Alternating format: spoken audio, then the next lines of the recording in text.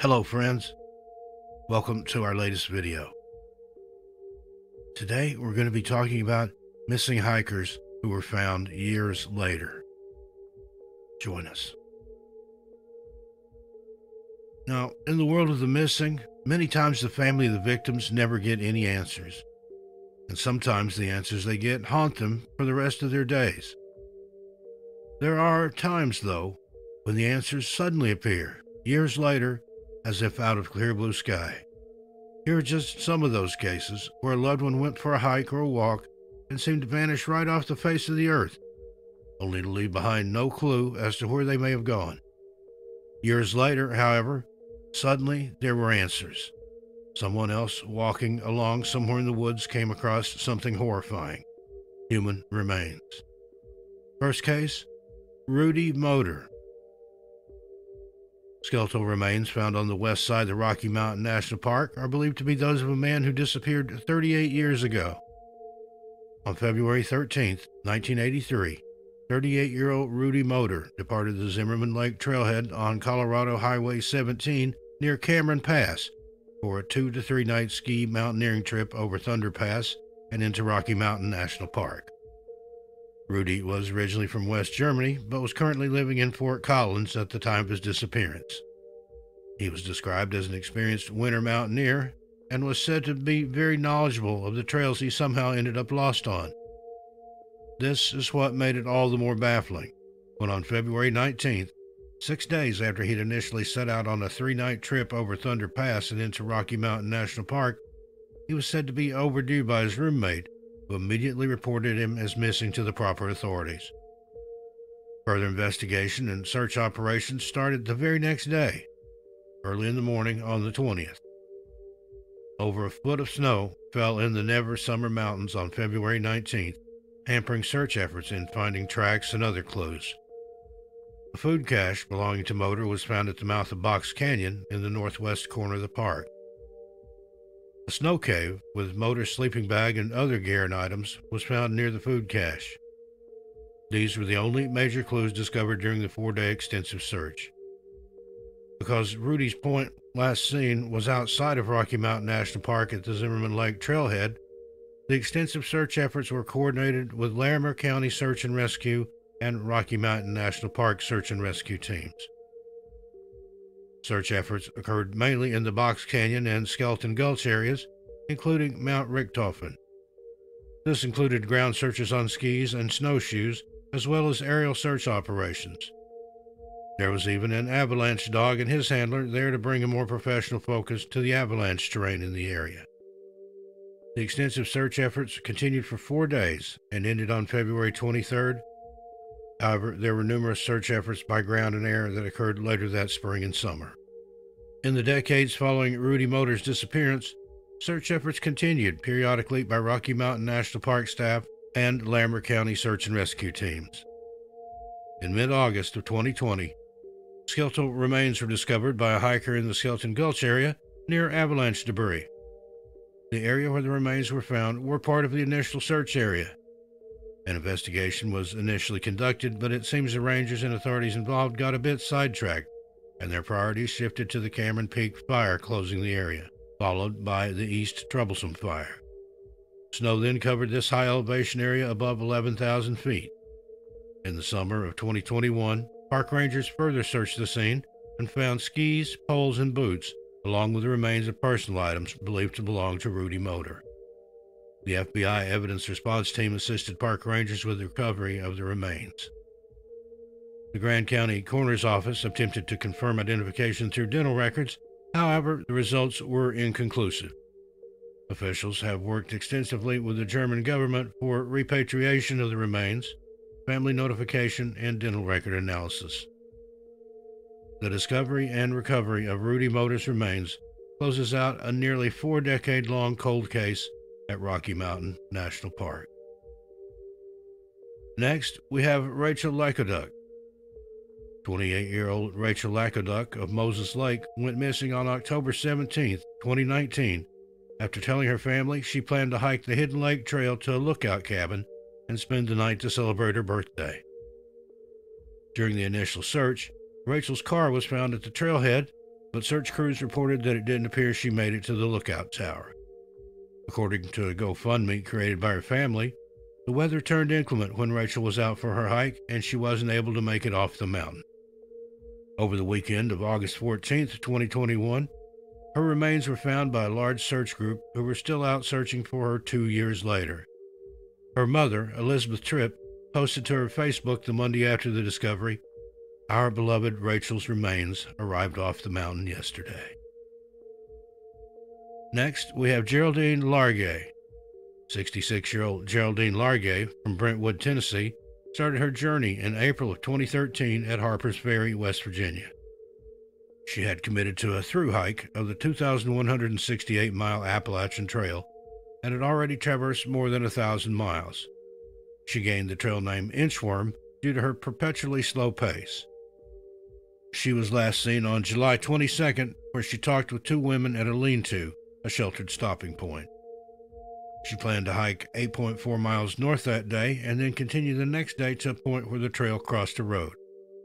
Geraldine was a retired Air Force nurse who had hiked long trails near her home in Tennessee and had taken a course on doing this particular trail. She easily made friends both on and off the trail.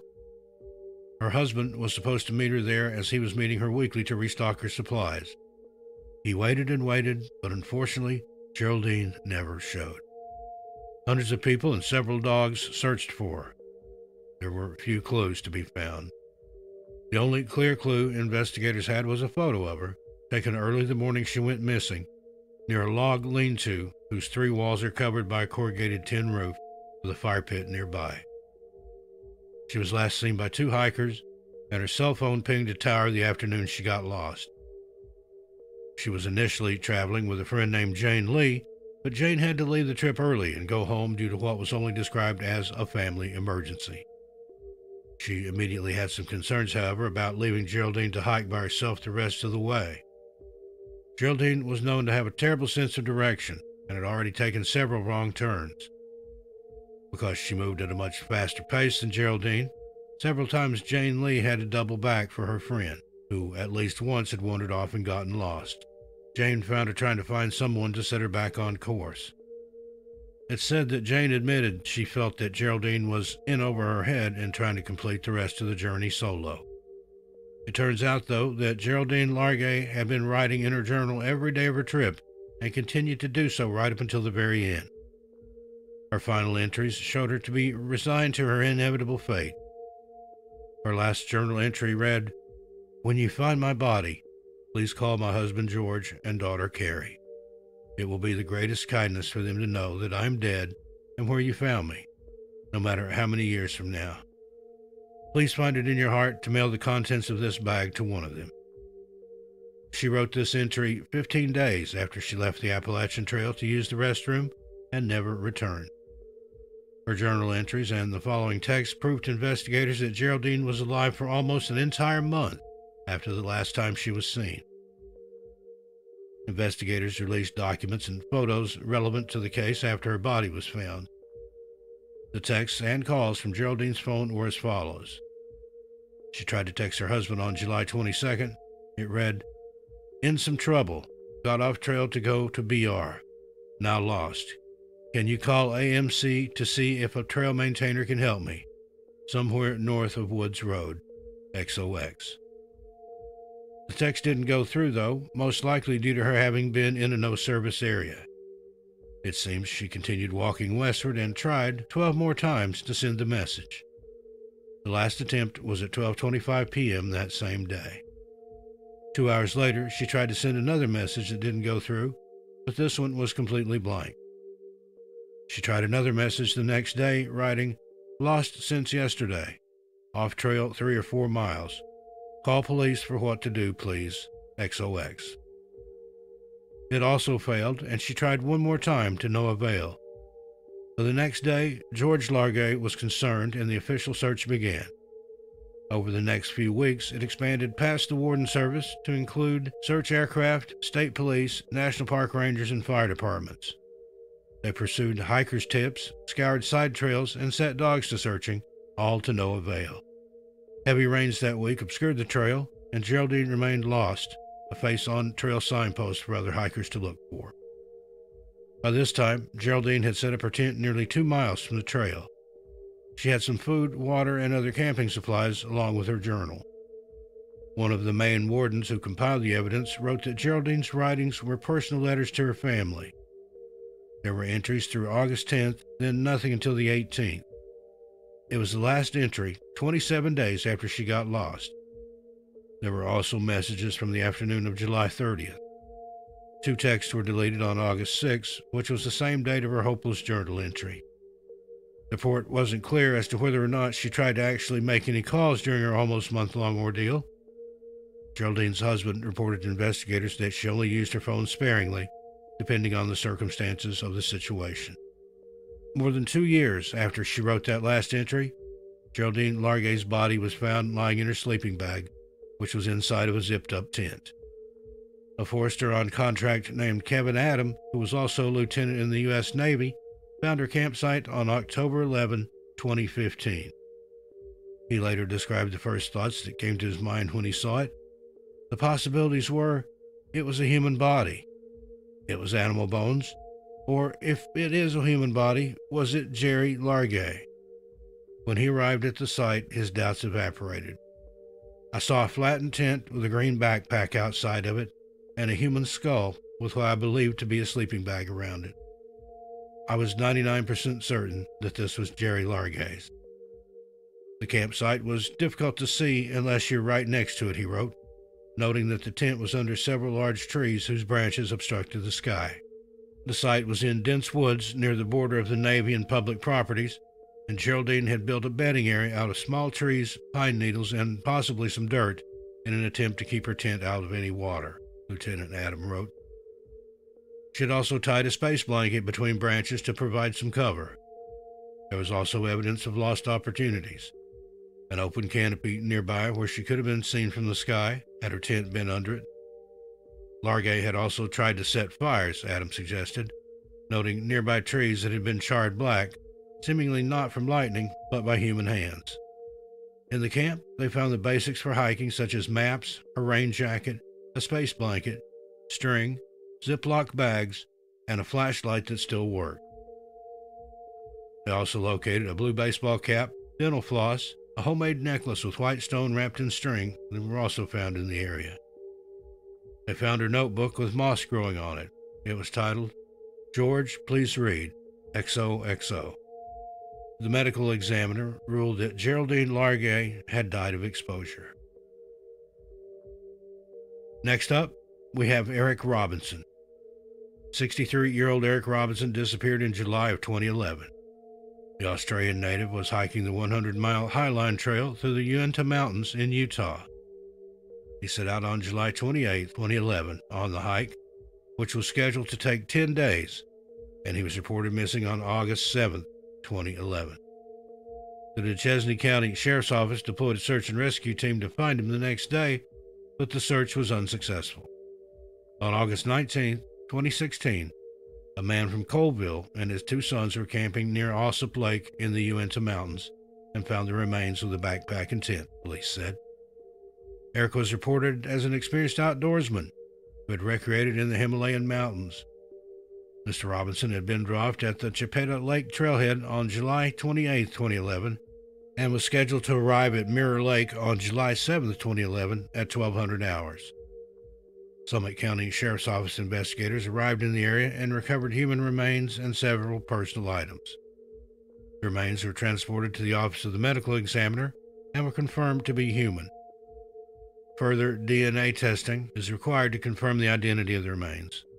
Due to the proximity of the personal belongings, the human remains are believed to be those of Eric Robinson. And finally, Riley Zickel. 21 year old hiker Riley Zickel of California was reported missing July 30, 2016, after he didn't return from Mount Jefferson Wilderness Area in what was intended to be a simple overnight hike. He left from Breitenbush Lake Road at the Pacific Crest Trailhead, where he planned to hike for one day and return the following day to visit friends in Seattle. He was last seen on the Pacific Crest Trail just north of Jefferson Park, where he visited with another hiker along the trail. Riley's family reported him missing, and Marion County deputies found his vehicle parked at the Jefferson Park trailhead. He was last seen on the Pacific Crest Trail, just north of Jefferson Park, where he visited with another hiker along the trail. Riley's family reported him missing, and Marion County deputies found his vehicle parked at a Jefferson Park trailhead. He was an experienced hiker, had the appropriate equipment, and an adequate amount of food for his trip. Search and rescue teams from multiple agencies spent seven days searching for Riley before efforts were suspended on August 6, 2016. Areas of snow complicated the search, and in spite of the snow, daytime temperatures occasionally reached 90 degrees. The elevation of the search area varied from 5,000 to 7,500 feet above sea level. More than 340 people spent about 5,000 hours and covered over 350 square miles in the Willamette National Forest around Mount Jefferson in efforts to find him. Salem based helicopters from the Oregon Army National Guard and Cessna 182 aircraft from the Civil Air Patrol flew daily above the search area, but never found any sign of him. Officials from the Marion County Sheriff's Office were contacted by climbers who believed they located his body in a glacial area above Jefferson Park on Mount Jefferson, according to Sergeant Jeremy Landers of the Marion County Sheriff's Office. The recovery of the remains proved to be challenging as the area where they were found is extremely steep with loose rocks and rock avalanches.